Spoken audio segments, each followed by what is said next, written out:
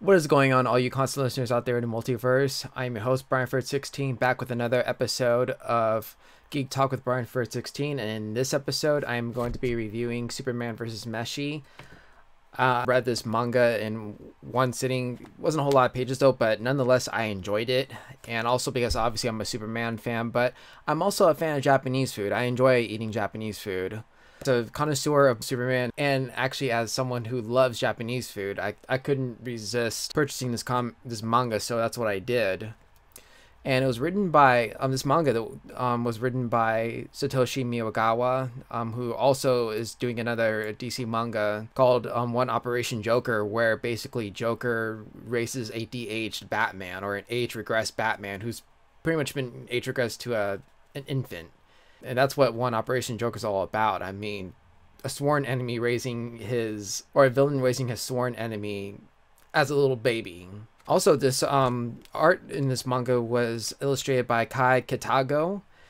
And Superman vs. Meshi takes place in the DC universe, which is um, where it's really peaceful. I mean, there's still stuff that happens still, but it's not a whole lot. Not like you see in the Snyder Cut films or in the main continuity and all that. It's just, it's just a peaceful. It's just a peaceful Earth. I mean, and except you know, a little spoiler in one in another part of the story, you see parademons, but for the most part, the Earth in Superman versus Meshi is very peaceful because of the efforts of Superman and the Justice League.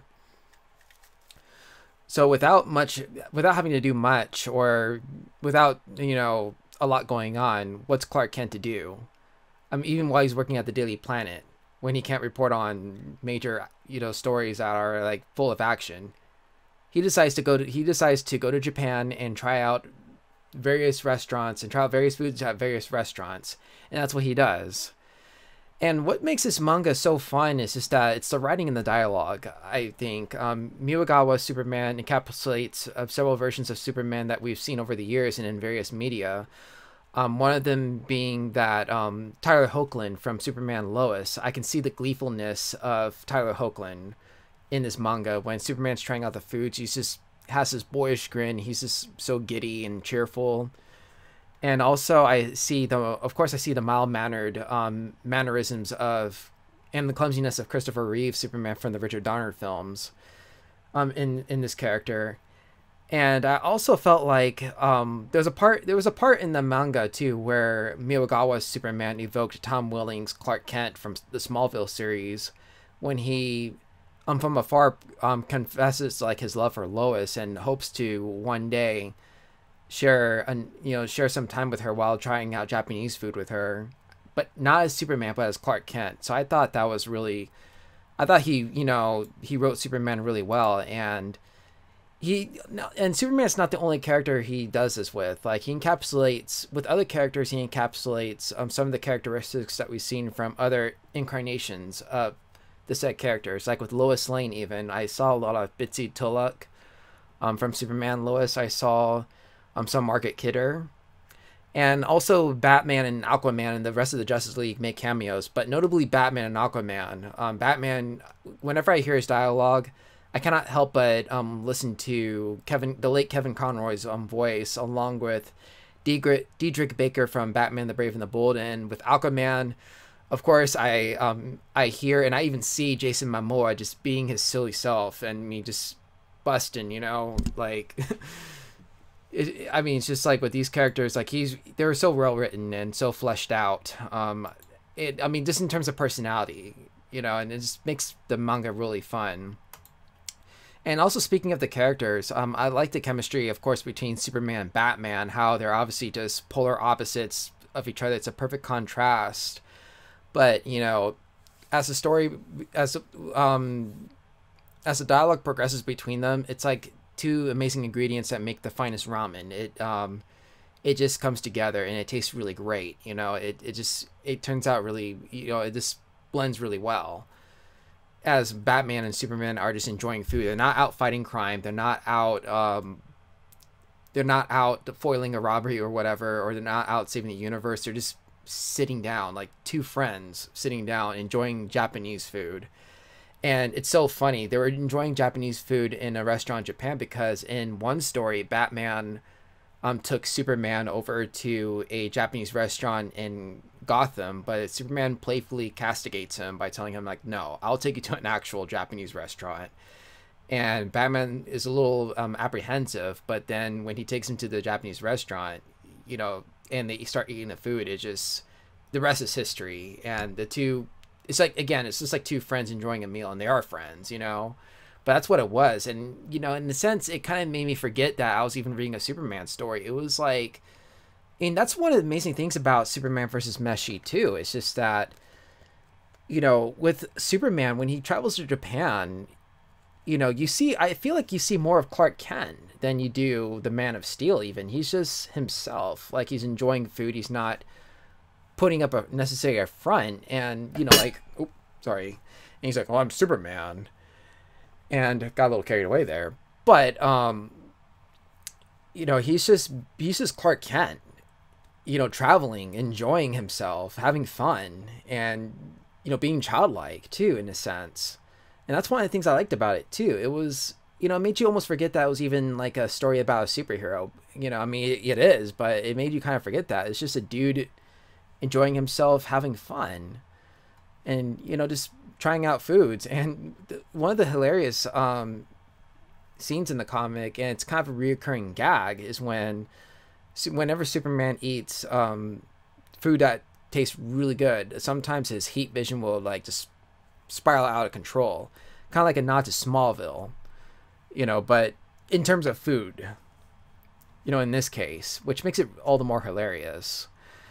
And um, of course, you know, I cannot talk to, talk about the manga without talking about the art by Kit, um, Kai. That's how you pronounce it, Kitago. And the art is just so amazing and especially when you know when you look at the um the up close of the food if you see here little spoil alert though but i'll show you right here. See how the food's all detailed? It's almost that's how manga art is. I've read i think i've read in scott mccloud's um one of scott mccloud's comics. I think it's called understanding comics. I've read that manga artists um a lot of them put so much depth in their art especially when things are up close. Like for instance in some comics you see like a cup but you know just like a cup like this. But then in manga however sometimes you get a, a close-up of the cup and you see all its details. Like you see like with this cup for instance how it's from afar you just kind of see it's a cup but then if you look at it closely you see that's a star wars cup with darth vader yoda stormtrooper boba fett princess leia chewbacca luke obi-wan all that you know i mean you see like all the close-ups right there. You know, you see Darth Vader there too. But um, so that's how manga art is, and that, that's one of the things that amazed me. It was like a Ghibli film too. Now that I think about it, even just reading this comic, you know, this food was this. Of course, food itself is a main character in in the Superman manga. And the the lettering done by um, actually before I even get to that, um, the art also reminded me a lot of the art done by the father of manga himself, Osamu Tezuka, the creator of Astro Boy. And that's what made it so amazing. I mean, it was like almost an homage in a sense, just the art style. And the lettering too even now i'm getting to the lettering is also stays true to the manga tradition where it's just unlike in the uh, unlike in the american comics like manga lettering is it's similar though but it's sometimes it's like out. You know what I mean? Like if it's like a narration, for instance, like it's just out and about, like this here. Even don't know if you can see it though, but let me see. Yeah, see here, it's like see how it's like just out and about. It's not like in a box or anything like that. So yeah. So in closing, um, I would give Superman and Meshi a nine out of ten. It's just that um, I the reason for that rating is because um, the manga Superman vs. Meshi puts the Man of Steel in a mundane yet fun circumstance in which he's just trying out Japanese food and going to various Japanese restaurants throughout Japan. And it also, in my view, it further humanizes a hero who I who again I feel is actually more like Clark Kent than he is Superman the comic, and which makes him really relatable to all of us. And I write that because, like any human being, even men or women who are faster than a speeding bullet and more powerful than a locomotive would want to travel to several places and try out different foods or meet different people. So that's why I give it a 9 out of 10. And I heard even there's going to be a second volume too, because this is volume one, but there's going to be a second volume coming out around November the 9th, uh, around November of this year. So hopefully I get to review that one. Until then, um, Superman vs. Meshi is out right now wherever books are sold. Um, you can also buy it on Amazon, of course. So, having said that, um, that um, does it for this review. I hope you all enjoyed it, and I hope you all liked this video as well. If you do, if you do, hit the like button and also hit the subscribe button to subscribe for more content. I'm looking at doing more weekly weekly um, episodes like this. I mean, I might do a manga review, or perhaps I might even um, I might even talk about a certain current event involving the SAG-AFTRA. I've been following the SAG-AFTRA strikes a little bit here and there, so be on the lookout for those two as well. And yeah, and I'm also looking at opening up a new. I'm actually looking at doing more episodes for the Demon Slayer Planet podcast, um, where I do reviews of Demon the Demon Slayer episodes as well as the manga and hopefully some um, some unboxings in the future too, perhaps. And I'm even also planning on opening a cosplaying channel too, so you can see my various cosplays. So that's in the works right now. But until then, um, ladies and gentlemen, thank you so much for listening. And as I always say, stay ever so awesome. This is Brian for 16 signing out.